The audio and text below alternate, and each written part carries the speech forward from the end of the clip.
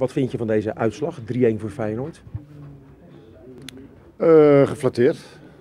Omdat ik denk dat wij in 11 tegen 11 een gelijkwaardige tegenstander waren. Die het uh, Feyenoord uh, bijzonder lastig maakte.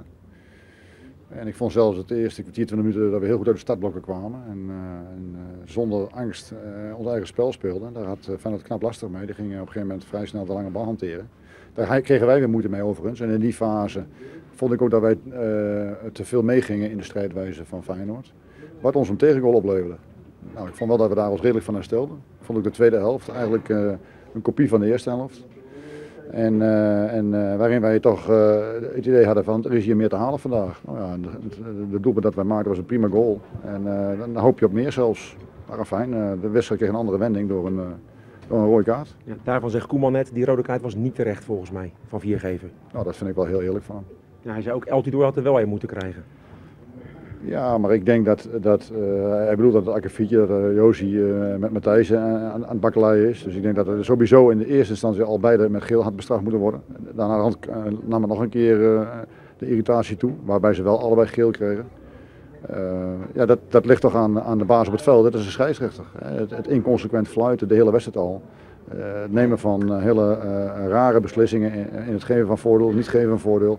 En dat wil niet zeggen dat het, dat in het voordeel van Feyenoord was om het voordeel van ons. Maar spelers op het veld wisten gewoon niet waar ze aan toe waren. En ja, waar hij last van had, dat hij gewoon een slechte dag had. Of, of kuipvrees, ik weet het niet. Maar... Kuipvrees bij een scheidsrechter? Nou ja, je ja, wil die jarenlang niet fluiten.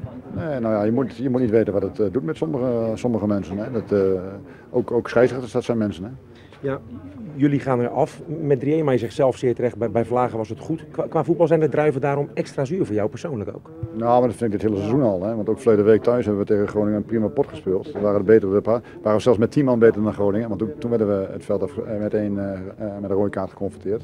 Maar ook toen bleven de punten niet thuis en ging Groningen met de punten naar huis.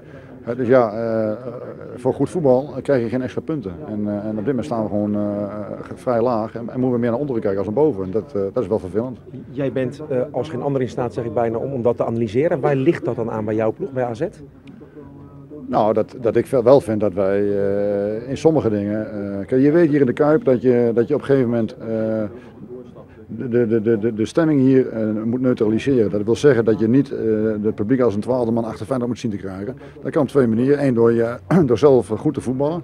En twee, in ieder geval niet te uitdagend te zijn. Hè. En de actie van Josie, ja, daarin krijg je gewoon je 45.000 mensen tegen je, jaag je tegen de Hannes. En hij heeft dat ook geweten de laatste 25 minuten. En dat is gewoon niet slim. En dat heeft ook wel wat met, met, met het jeugdige elan van, van, van, eh, van dit elftal te maken. Want ook Josie is nog maar 22. En ja, dat soort dingen moet je allemaal een keer meegemaakt hebben. Maar de mentale weerbaarheid is, eh, is, is, eh, is af en toe toch te gering. Besloot je daarom ook in die eerste helft richting de vakken RST te spelen naar dat TOS? Om, om dat er een beetje uit te halen voor Feyenoord in de tweede helft? Oh, nee. Dat niet bewust? Nee, nee, nee. Dat, dat, dat, dat regelt de aanvoerder. Hè. Die, uh, dat gaat met de TOS. Niet een opdracht van jou? Nee, nee, nee. nee. Ja, je, je, bent vooral trainer van AZ en, en baalt van deze nederlaag. Kun je toch eh, een blik werpen op Feyenoord? Is deze club titelkandidaat, vind jij? Uh, nou, ik vind geen uh, niet uh, titelkanaal in de zin van favoriet. maar het is wel zo dat ze als ze op deze manier door, door want vandaag vond ik Feyenoord niet echt, echt goed.